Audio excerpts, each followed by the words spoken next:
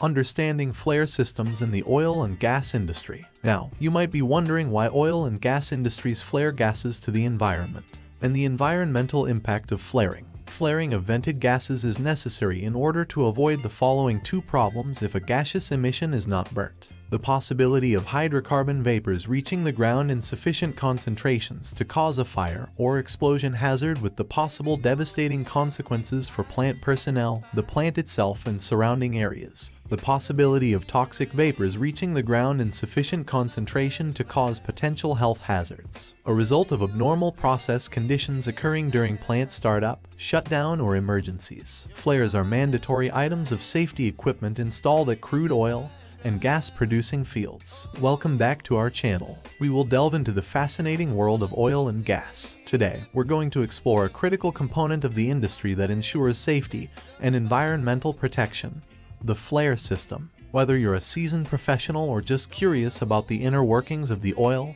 and gas sector, this video is for you. So, let's dive in. What is a flare system? So, what exactly is a flare system?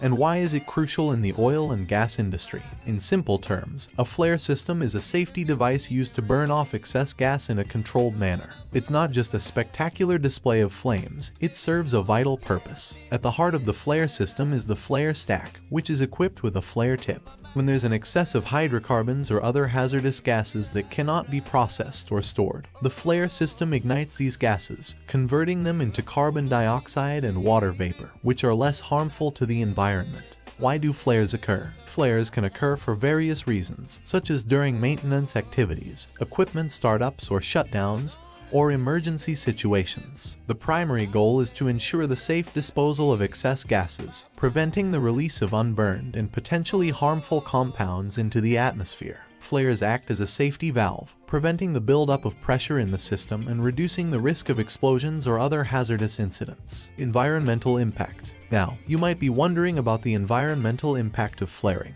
While flares do release carbon dioxide, they are designed to minimize the release of unburned hydrocarbons and other pollutants. In fact, many oil and gas companies are actively working to reduce flaring through improved operational practices and the use of advanced technologies. The oil and gas industry is subject to strict regulations governing flaring to ensure environmental protection and safety. These regulations vary globally, but they generally aim to minimize flaring and encourage the use of alternative solutions such as gas recovery systems. It's important for companies to stay compliant with these regulations and implement best practices to not only meet legal requirements, but also to demonstrate their commitment to environmental stewardship.